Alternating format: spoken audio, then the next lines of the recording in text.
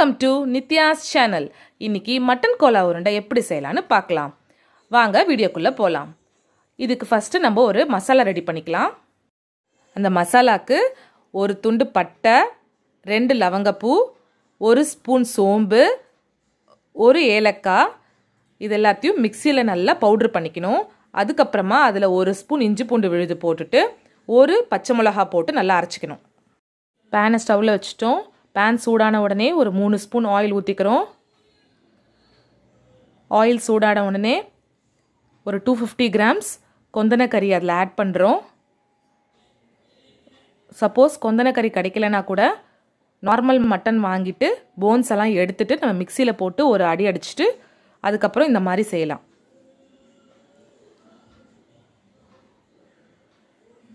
இப்போது நம்ம ஸ்பெஷலாக செஞ்சு வச்சுருக்க அந்த மசாலாவை இதில் ஆட் பண்ண போகிறோம்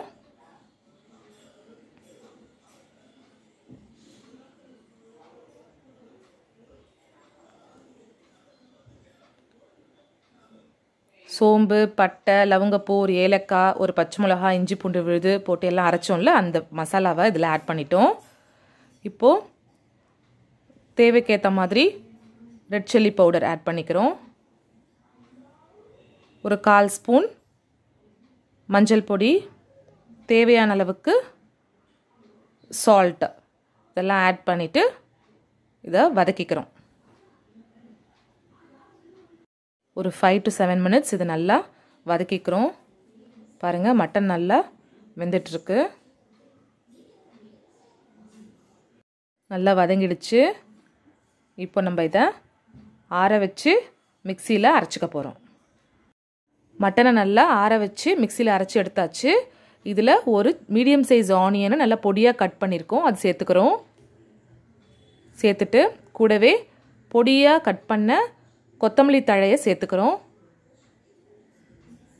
சேர்த்துட்டு ஒரு மூணு ஸ்பூன் அளவுக்கு பொட்டுக்கடலை மாவு. அதை சேர்த்துக்கிறோம்.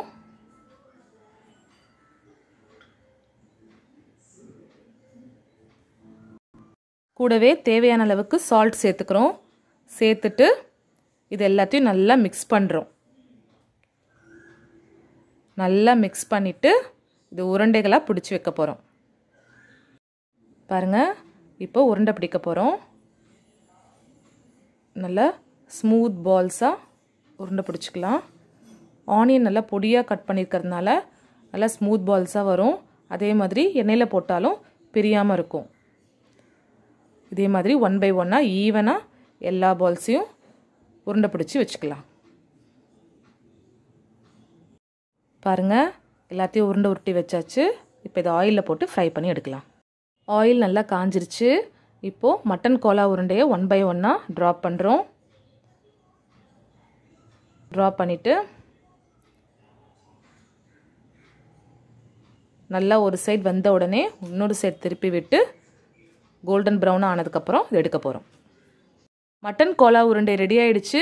ஆயில் ட்ரெயின் பண்ணிவிட்டு ஒரு பிளேட்டில் எடுத்துக்கலாம். ரொம்ப டேஸ்டியாக ஸ்பைஸியாக சூப்பராக இருக்கும். சர்விங் பவுலில் மாற்றிட்டு எப்படி இருக்குன்னு பார்க்கலாம் வாங்க. டேஸ்டியான மட்டன் கோலா உருண்டை ரெடி இதை நீங்களும் செஞ்சு பாருங்கள் உங்கள் கமெண்ட்ஸை கமெண்ட் பாக்ஸில் ஷேர் பண்ணுங்கள் இந்த சேனலை நீங்கள் புதுசாக பார்க்குறீங்களா? அப்போது லைக் பண்ணுங்கள் ஷேர் பண்ணுங்கள் சப்ஸ்கிரைப் பண்ணுங்கள் கூடவே அந்த பெல் ஐக்கானையும் கிளிக் பண்ணுங்கள் அப்போ தான் நான் போடுற வீடியோஸ் எல்லாம் உங்களுக்கு நோட்டிஃபிகேஷன்ஸாக வரும். பாய்